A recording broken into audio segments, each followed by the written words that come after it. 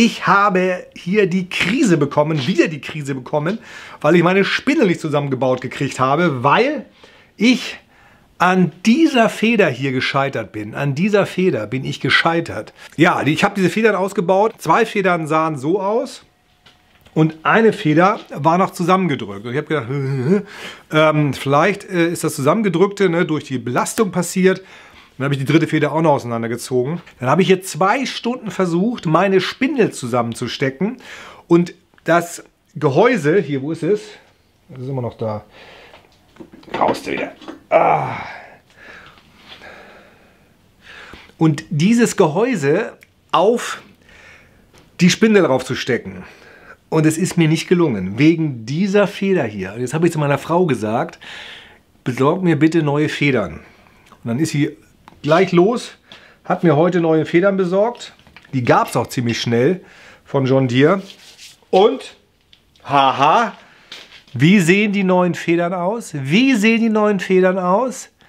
So sehen die neuen Federn aus. Zusammengedrückt. Nicht so. Das ist die richtige Feder und das ist die... Ups, genau. Schmeiß weg damit. Und jetzt ist alles klar. Mit dieser Feder geht das wahrscheinlich jetzt ratzi-fatzi.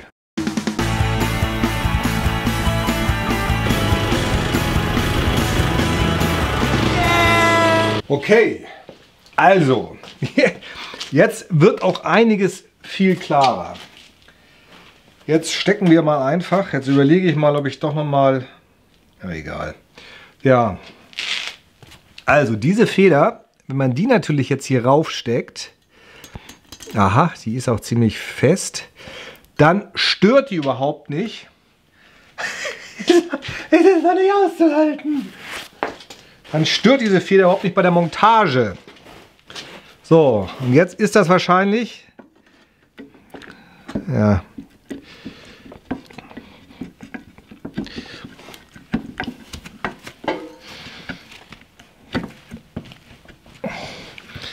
Überhaupt kein Problem. Das kann natürlich... Ah, das kann natürlich jetzt sein, dass durch die Feder... Ja, durch die Feder Geht auch. Wie von selbst. Oh. Natürlich, dass jetzt auseinandergedrückt wird. Also die Feder sorgt dafür, dass die Kegelrollenlager in ihren Sitz gedrückt werden.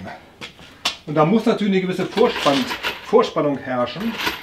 Aber wie gesagt, es ging im Prinzip wie von selbst. So, muss ich jetzt da oben und hier unten. Geht doch.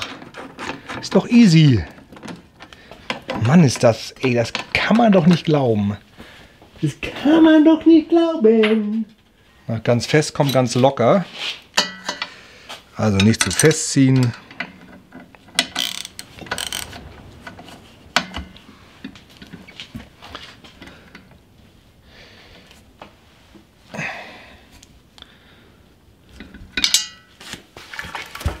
Jetzt kommt die Stunde der Wahrheit. Sehr cool. Sehr cool.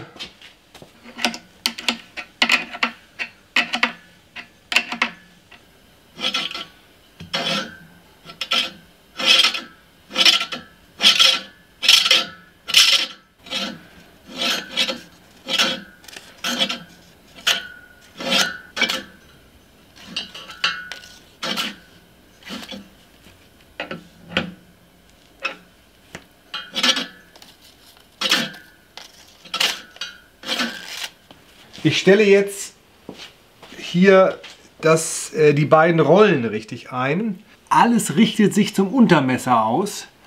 Das ist das ganz Entscheidende und das ist halt die Leere. Das ist die Leere. Die habe ich mir selber gebaut. Das ist im Grunde ein ganz einfaches Alu-Profil, eine Aluplatte. Und diese Schraube hier bestimmt die Schnitthöhe zwischen der Platte und dem Schraubenunterkopf, das ist die Schnitthöhe, die ich einstellen will. Und die andere Schraube, die benutze ich, das seht ihr jetzt gleich, die benutze ich, um die vordere Rolle zum Untermesser auszurichten. So, jetzt haben wir hier eine Dreipunktauflage. Wir haben die Rolle, das Untermesser, die Schnittkante und die Untermesserauflagefläche. Und ich hänge jetzt diesen Schraubenkopf unter das Untermesser. So löse ich jetzt hier nochmal. Dazu löse ich nochmal jetzt diese, diese Schraube. Ich hänge jetzt den Schraubenkopf unter das Untermesser, lege die Platte auf die vordere Rolle auf. Jetzt habe ich hier die zweite Schraube. Die, also die, der, der Mutternkopf hängt genau auf der Schneidebene. Mit der Schraube schraube ich jetzt die Platte hier hinten mit dem dritten 1, 2, 3, mit dem dritten Abstützpunkt auf dem Untermesser, auf das Untermesser auf und ziehe sie fest.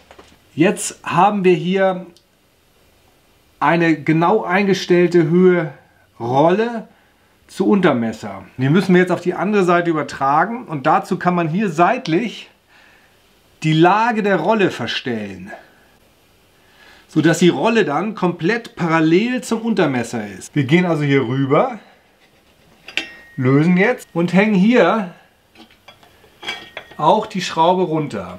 Hier ist jetzt Luft zwischen der Platte und der Rolle und ich muss diese Rolle jetzt hochheben.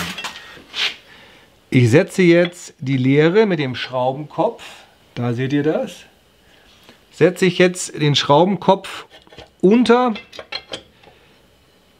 auf die Schnittfläche, an das Untermesser und die Schraubenspitze der zweiten Schraube, die drücke ich auf die hintere Kante des Untermessers. Und jetzt sieht man, so und da sieht man jetzt die Luft, da ist jetzt Luft. Da ist jetzt Luft unter.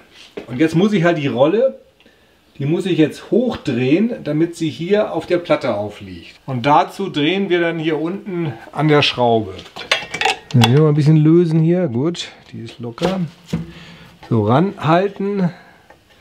So, jetzt müssen wir diesen Abstand, den können wir jetzt hoffentlich durch den Exzenter ausgleichen. Ja! Habt ihr es gesehen? Habt ihr es gesehen, wie hier, und jetzt schleift sie, wie hier oben jetzt die Rolle, die Rolle rangedreht wurde. Mega cool. So, und jetzt ist die Rolle komplett parallel ausgerichtet zum Untermesser. So geil. Andere Seite nochmal gegenchecken. Ja, Freaks, warum mache ich das eigentlich? Was ist das, das Ziel dieser ganzen Geschichte? Das Untermesser soll natürlich ganz parallel zum Boden laufen. Das ist das total Entscheidende. Wenn die Rollen nicht parallel zum Untermesser sind und das Untermesser nicht parallel zum Boden ist, dann hat man so, so keilige Schnitte. Wenn ich jetzt zwei Bahnen nebeneinander mähe, dann sieht man so eine Trapez, wie so, wie so eine, ja, was ist das? Wie so eine Sägezahn, wie eine, wie eine Sägezahnkontur auf dem Rasen. Nur wenn die Spindeln komplett parallel zum Boden laufen und natürlich auf eine gleiche Höhe eingestellt wird, dann gibt es einen ganz ebenen, gleichmäßigen Schnitt. Und das ist das Coole. Was macht man jetzt noch? Jetzt kommt die letzte Einstellung. Jetzt haben wir halt das Messer und die hintere, ich sage immer die hintere, ist die vordere Rolle das Messer und die vordere Rolle auf, ausgerichtet. Stecken wir wieder unter. Perfekt. Und jetzt drehen wir jetzt die vordere Rolle, drehen wir jetzt auch gegen die Platte gegen. Dann nehme ich einfach jetzt hier mein Gewinde und drehe jetzt die Rolle gegen die Platte gegen. Zack. So, nicht zu viel. Die andere Seite kommt auch noch hoch. Das machen wir jetzt an der anderen Seite auch. Ja, und dann haben wir exakt 16 mm eingestellt und exakt, exakt die Rollen parallel ausgerichtet. Das seht ihr jetzt wahrscheinlich nicht, weil ich hier hinten rumfummle. Die andere Seite drehe ich jetzt auch gegen. Und deswegen liebe ich mal den neuen Ratschenschlüssel. Ja, gut. Nochmal. Ja, ein bisschen zurück. Wieder ran.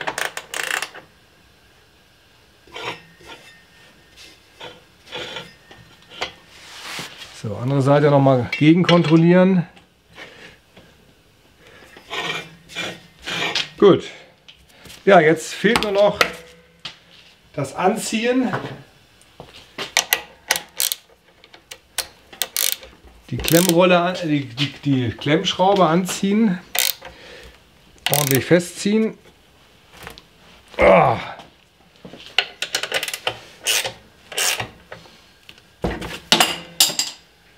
War nicht gut. So.